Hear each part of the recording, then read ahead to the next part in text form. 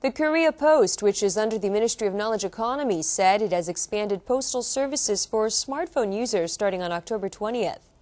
By assessing the Korea Post smartphone application, users can place orders of local specialties and create and send online postcards.